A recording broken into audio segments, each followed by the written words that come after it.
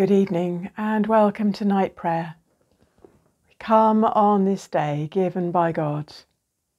So let's take a moment, settling ourselves again with the one who knows and cares.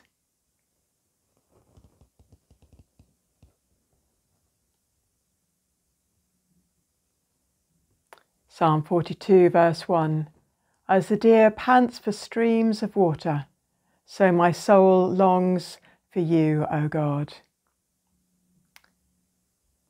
The Lord Almighty grant us a quiet night and a perfect end. Our help is in the name of the Lord, who made heaven and earth.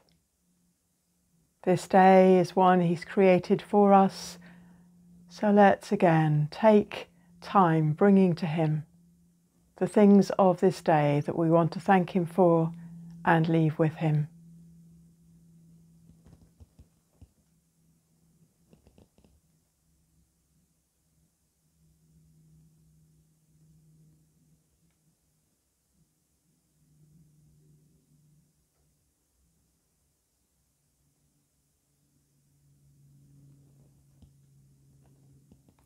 Save us, O Lord, while waking, and guard us while sleeping, that awake we may watch with Christ, and asleep may rest in peace. Looking tonight at verse from Psalm 27, verse 4. One thing I ask of the Lord, this is what I seek, that I may dwell in the house of the Lord all the days of my life to gaze upon the beauty of the Lord and to seek him in his temple. One thing I ask, and yet the psalmist puts several down really, that I may dwell in the house of the Lord, to gaze upon the beauty of the Lord and to seek him in his temple. Not just being in the temple and in God's house, but having that chance to gaze on the beauty of the Lord. And I wonder, how much have you thought of that? Have I thought of it? That our time with God, gazing upon Him, is something that matters as well. If you love somebody, very often what you want to do is just gaze on them. I remember a friend telling me that about a newborn child.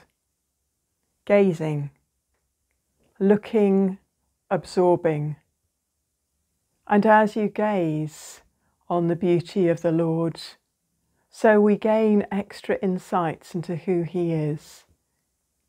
As we gaze on the one that we love, our hearts are changed too. David says his desire is that he might gaze upon the beauty of the Lord and seek Him in His temple. Let's spend a moment in prayer. Lord, thank you. Thank you that we have access to you all the time. Forgive us when we fail to note and fail to take time with you. When we get consumed by our own needs and miss your beauty. Help us to gaze on you and to know you more. Amen. Be present, O Lord, and protect us through the silent hours of this night, so that we who are wearied by the changes and chances of this fleeting world may rest upon your eternal changelessness. Through Jesus Christ our Lord. Amen. And we pray together. Our Father in heaven, hallowed be your name.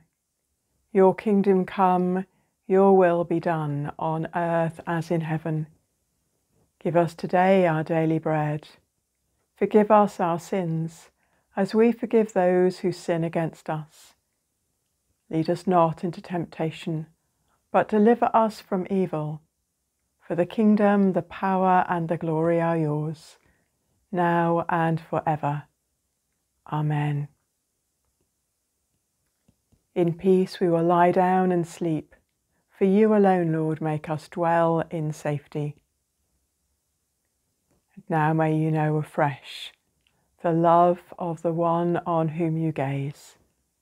He is your living rock, the living word.